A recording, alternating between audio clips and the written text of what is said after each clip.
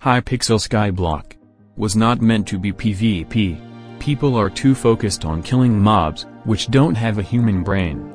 So they aren't really that hard to kill. As a result of this, they get too used to fighting mobs instead of real players. In fact, I bet that if I went to Hub 1 and challenged everyone to a duel, I should be able to beat 80% of them. There is absolutely no way to facilitate PvP in Skyblock. The admins disabled the Colosseum a while ago, preventing people from killing people. Wounded potions were patched several ages ago. And PvP is simply disabled. Go ahead and try to hit this guy over here. Nothing happens. But what if the last statement were to be false? What if a game-breaking glitch were to occur enabling people to kill others? Believe it or not, that has happened multiple times. And it is not fun when that happens. Tens, maybe even hundreds have died in a single hour at the hands of mischievous people who abuse these bugs. So, what are the biggest Skyblock massacres in Skyblock?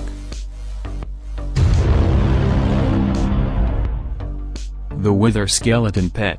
Which used to be a regular mining pet that helps you mine coal. Nobody wanted that. So on May 7th, Hypixel proposed a change.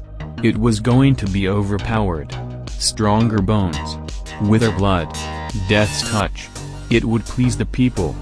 However, some people took the phrase, death's touch, too seriously. Because apparently you could kill people with it. The golem pet had a similar effect. You equip the pet, click on someone, and they go bye-bye, losing their coins. People took out their rage on others. Differences were settled with violence. The hubs became a no-go zone. Speaking of losing coins, one unfortunate person named Yannico lost over 200 million to mischievous people. Fortunately, the coins have been returned. Which is quite unusual considering all the people who have been denied their lost items. The Hypixel admins quickly patched the exploit. Peace was restored. And the perpetrators who violated the Hypixel Skyblock code, were apprehended.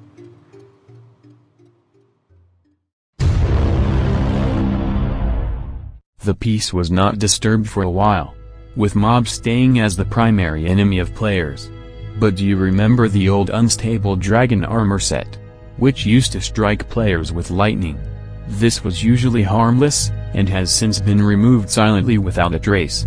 Until August 18th. When suddenly, you could kill others once again with the unstable dragon armor. And the lightning strike was somehow very overpowered you will die instantly upon making contact with unstable armor people. And so people got to work. Unstable armor prices spiked. People took out their rage on others. Differences were settled with violence. The hubs became a no-go zone.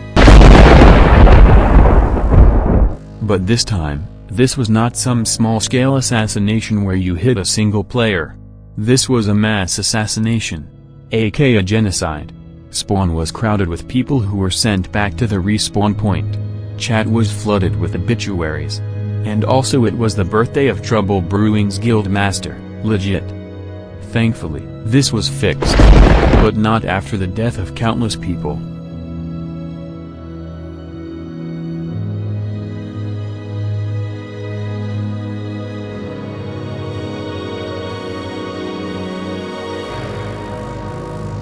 Anyways, that's basically it for the video. We are so close to beating C Chloe in subscribers. Please help me achieve this goal. Thanks for watching.